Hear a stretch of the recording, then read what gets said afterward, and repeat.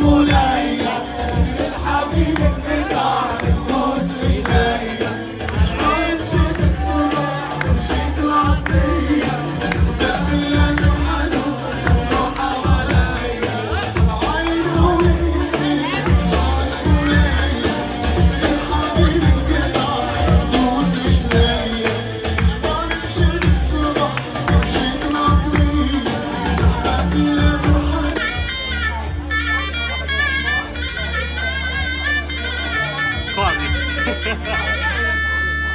oh, look. Nick Z.